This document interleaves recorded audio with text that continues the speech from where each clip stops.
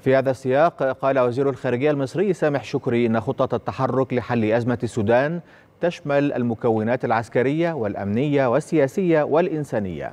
وفي لقاء خاص مع القاهرة الإخبارية أكد وزير الخارجية المصري أن البيان الختامي لاجتماع الآلية الثلاثية في تشاد أعاد تأكيد مبادئ قمة دول جوار السودان التي انعقدت بالقاهرة. معالي وزير الخارجية المصرية أهلا بك على شاشة القاهرة الإخبارية. انتهى منذ قليل إعلان البيان الختامي لهذا الاجتماع الأول لآلية الآلية الوزارية لدول الجوار. شملت خطة تحرك نريد أن نتعرف على تفاصيلها من معاليك.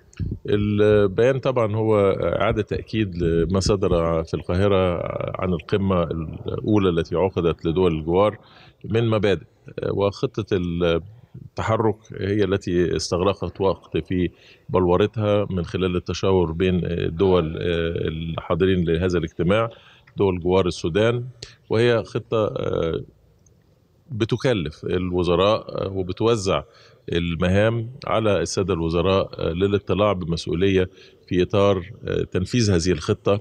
وكما تضمن البيان فهي تشمل المكون العسكري والأمني المكون السياسي والمكون الإنساني.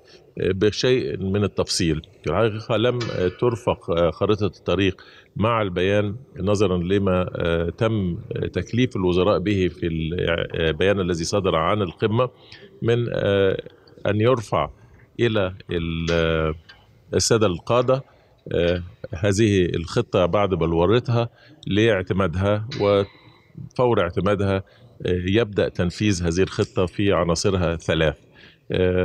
لن أخوض في التفاصيل لأنها خطة متكاملة بتتناول كل العناصر المرتبطة بالأزمة في السودان وبتسعى إلى اطلاع الوزراء والمسؤولين بمهام محددة.